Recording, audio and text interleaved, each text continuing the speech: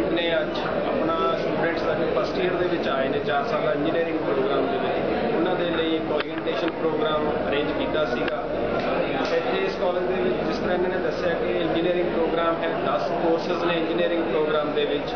ਇਸ ਪ੍ਰੋਗਰਾਮ ਜੋ ਇਹਨਾਂ ਨੇ ਅੱਜ ਆਰਗੇਨਾਈਜ਼ ਕੀਤਾ ਹੈ, ਬੱਚਿਆਂ ਨੂੰ ਦੱਸਿਆ ਕਿ ਤੁਸੀਂ ਆਉਣ ਵਾਲੇ 4 ਸਾਲ ਕਿਸ ਤਰ੍ਹਾਂ ਕੱਟਣੇ ਨੇ, ਕਿਸ ਤਰ੍ਹਾਂ ਬਤੀਤ ਕਰ ਰਹੇ ਨੇ, ਕਿਸ ਤਰ੍ਹਾਂ ਆਪਣੀ ਹੋਲਿਸਟਿਕ ਡਿਵੈਲਪਮੈਂਟ ਕਰਨੀ ਹੈ ਤੇ ਕਿਸ ਤਰ੍ਹਾਂ ਆਪਣੀ ਨੌਲੇਜ ਲੈਣੀ ਹੈ ਇਹ ਪ੍ਰੋਗਰਾਮ ਬਹੁਤ ਅੱਛਾ ਹੋਇਆ ਤੇ ਮੈਂ ਇਹਨਾਂ ਨੂੰ ਕੰਗ੍ਰੈਚੁਲੇਟ ਕਰਨਾ ਚਾਹੁੰਦਾ ਇਹ ਪ੍ਰੋਗਰਾਮ ਇਹਨਾਂ ਨੇ ਆਰਗੇਨਾਈਜ਼ ਕੀਤਾ ਖਾਸ ਤੌਰ ਤੇ ਕੀ ਚੀਜ਼ ਕਹਿਣਾ ਚਾਹੁੰਦੇ ਹੋ ਤੁਸੀਂ?